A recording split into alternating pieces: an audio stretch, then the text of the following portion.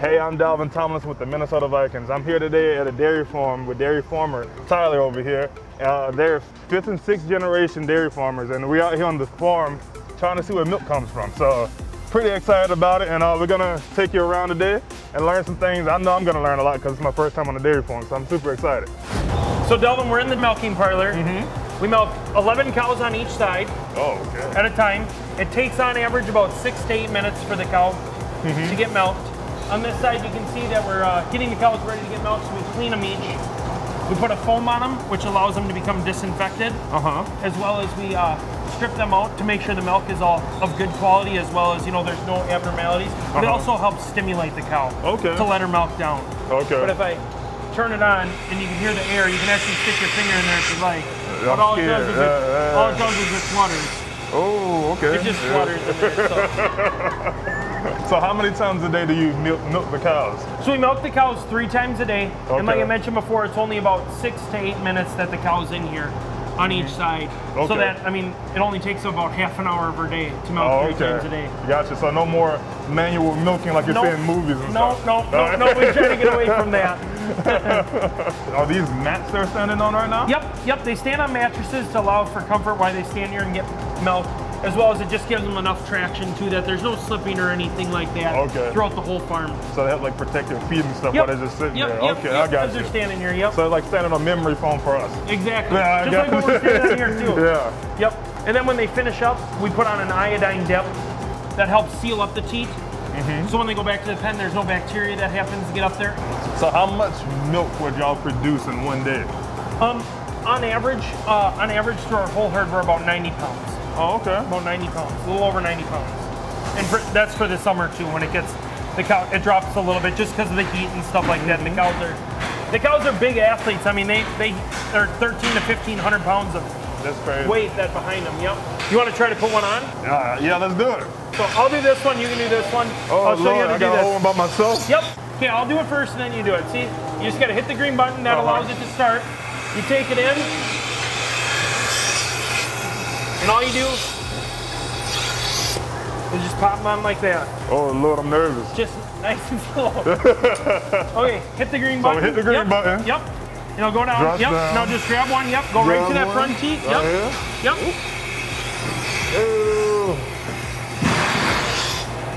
This is way easier playing football. There you go.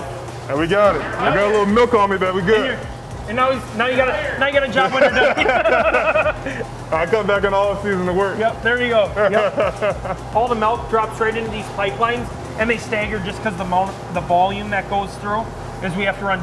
It's all one, but it's te- technically two because it all flows.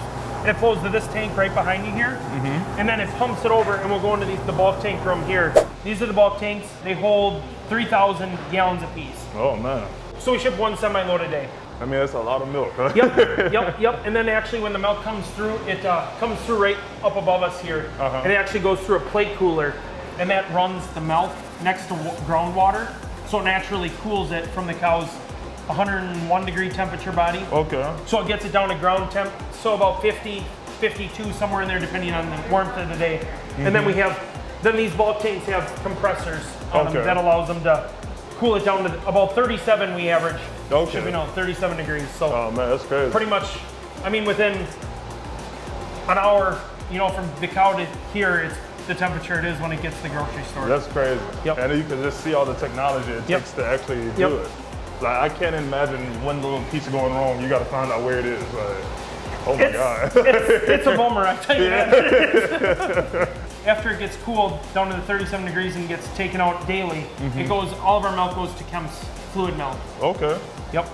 Oh man. So it's all get all gets bottled and in the grocery store within 24 hours of leaving the cow. Within 24 hours? Yep.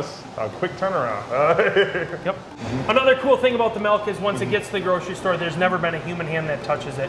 From the moment it leaves the cow till it gets to the bulk tank, till it gets to the creamery and then the grocery store, it's never come in contact with any human hands. That's crazy. Oh Yep. my god. So Yep. like the first time a human actually makes contact with it, they're, Is- eat, they're eating it with a bowl of cereal or they're drinking it. Is you- yep, it's exactly. crazy. She's working on it. She'll have it out, it looks like. The baby, Mm-hmm. Jenna, you got it. There's one cabin right now. Yeah, her front feet are out right now. I don't know if you can see Yeah, I that can see it right down. there. Yeah. So this is the barn that we built, Uh huh. and We built it for the sole reason of cow comfort and it also like just the winters here in Minnesota get so cold in the summer. It, it just allows us to have more consistency the whole time we're with the cows. Yeah. We, we never had anything frozen in here last year. Okay. 32 below. When it was 32 below, It's 28 degrees in there. Oh man. So the cows have a full buffet 24/7. Mm-hmm. There's always feed in front of them, as well as when we scrape, we scrape them. Mm-hmm. Move the manure. So like over here, that's about as much manure as there. I mean, Yeah. we try to keep. We like our cows clean too. That's a big thing. We Most want them definitely. clean. Want them clean. So if you look in there where the beds are, Uh-huh. that is uh, manure solids. Mm-hmm. So we actually scrape the manure. It goes up to a big press and it presses it, and it pushes it out. And then we use that pressed manure to bed the cows. Oh, okay. So that's a big thing for us when we built the barn and when we renovated and did that in 2004, 12-ish. We went to the manure solids. It was a huge sustainability thing. Okay. We're reusing what we already make, Yep. and it was a good source of bedding as well as we're not adding any, anything else to the environment. It's just the cow manure Yeah. is what we're using. How that was huge cows- for us. How many cows can you fit in here at one time? In this barn, there's 420 cows. Oh, okay. Yep. They have a little shower over here. Yep, like. yep. So when it gets hot, when it gets over, so a cow starts feeling heat stress at 70 degrees. Okay. So anytime it gets over 70 degrees, the cow's got some heat stress. Oh man, I never knew that. So for us, the fans are full bore at 70 degrees, and then the sprinklers kick on at about 74 degrees. Oh, okay. Yep.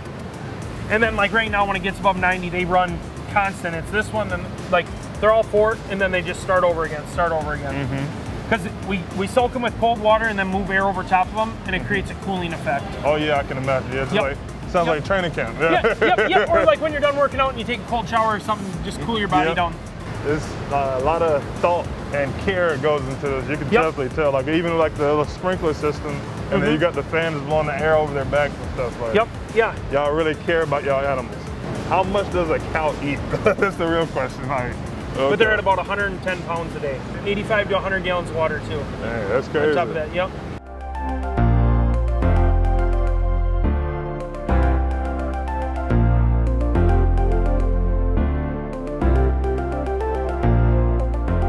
Have ear tags, so that's essentially their identification. Uh huh. But if you look at their at the left tag, like their right side, but our left, there's a little button a part of all that.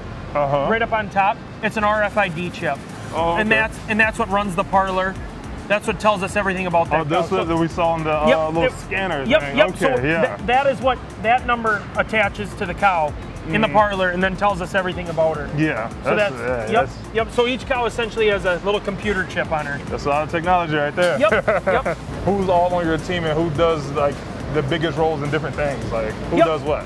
It is a family farm. It's uh, my mom and dad, and then my three brothers. We're all Mm-hmm. direct, if not daily related. We're all directly related in it, in, in the farm. Uh, Uh-huh. I take care of all the cow health. The cows and the employees for the cows are a big thing Mm-hmm. in my part. Um, I have a younger brother that he's big into the crops. We farm all of our own land. Oh, We make all of our own feed. Oh, and he, uh, he he he doesn't want to stand and look at the cows, so he likes sitting in tractors. Yeah. So that's fine. That that works out well. My dad takes care of all the feeding. He he does all the cow feeding as well as uh he does the he raises the young stock on his farm, the heifers. Oh, okay. That would be coming back here. Uh, my mom feeds all the babies. Uh-huh. She's in charge of the nursery. She she's in charge of everything. Uh, everything, She's in yeah, charge of she the runs everything. Yep, yep, yep. And then we have uh we have ten full time employees Uh-huh. that milk cows and help us out, and then three to four part time guys that help out on weekends or during the week if they have extra time. For us. Okay, gotcha. Yep. So she's four years old. She, uh, my little cousin's short, so I think you're fine. Alright. She's had two calves and she's pregnant with her third calf. oh, okay. Big. Any tips or anything? Or? Just hold it just like he is, and she's Oh, pretty Lord. respect. She's she, Oh, Lord. she's pretty respectable. So I'm, I'm nervous. I'm nervous now. yeah, yep. There you go. Oh Lord, where she going? Where she going? Where she going? Like if I've always told my kids when they, she starts running, I'm like, no, I'm with you. So where we going? Just how do you walk? this walker? Yep. Just give her a tug. She'll walk. I don't think she likes it. Okay. Oh, now she's running. How do we stop? Is the question. Yes. We're at the. I don't know how to You're turn around. doing good. You're I don't know how to turn around and stuff, so I'll let y'all take that one. It's crazy how big a cow is. Like, You don't know until you actually walk up on it. Mom's licking the baby up. Yep. Yep. You want to go up there and see it? yeah, we go see it. Yeah. On average, we have, let's just say two and a half babies a day.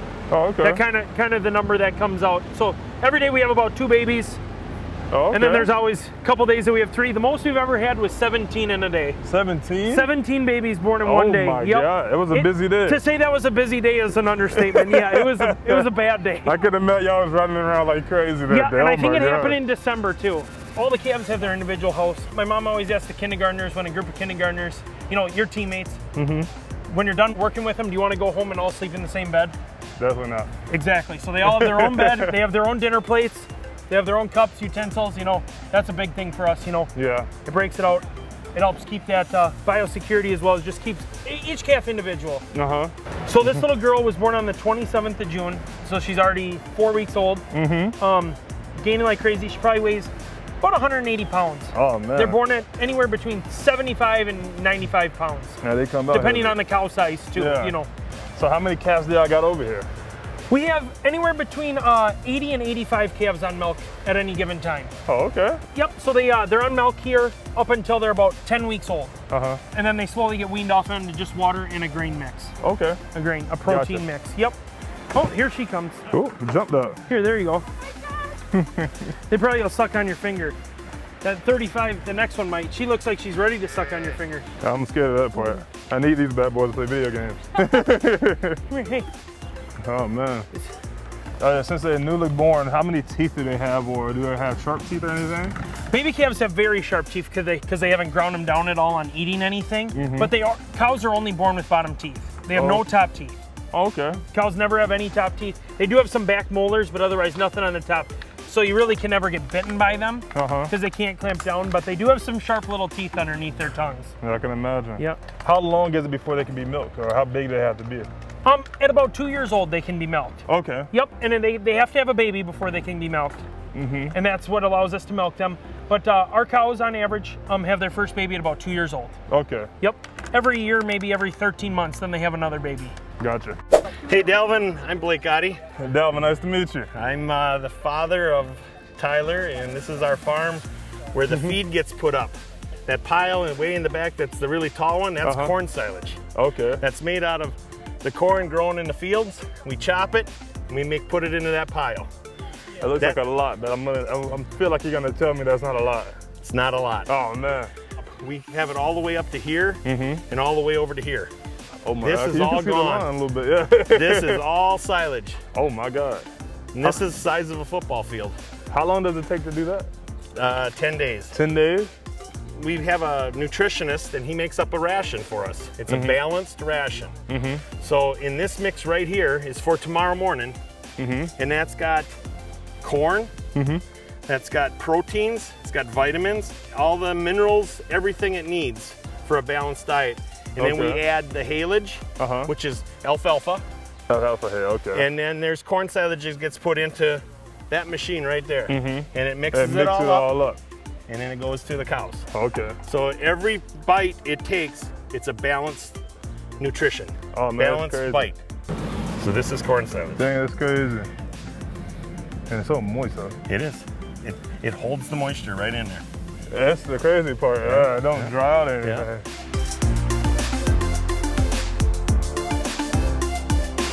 Yeah, I want to say thank you for showing me the tour of the dairy farm today because it's amazing how much work y'all actually put in on this farm. Like y'all performing to peak performance every single day. So it's like every day's a Sunday for y'all. So y'all coming out here on game day every day. And um, yeah, just I'm still so excited right now just to see like we saw a calf being born. We, saw the the big fan barn. That's what I'm gonna call it. Like it looks Yep. almost like a rocket ship about to take off. Yep. And then all y'all told me how the feed gets done with all the 400 uh, acres of corn. Yep. It's crazy. yep. Like, take 10 days to do it. And I want to see a picture when it's done, like when it's full. But um, I appreciate y'all. I want to thank y'all for showing me around. I learned a lot today.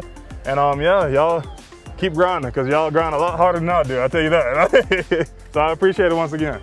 Thank you. Thank you. Get six sacks this year or better. Oh yeah, that's I'm looking shooting for it. shooting for it.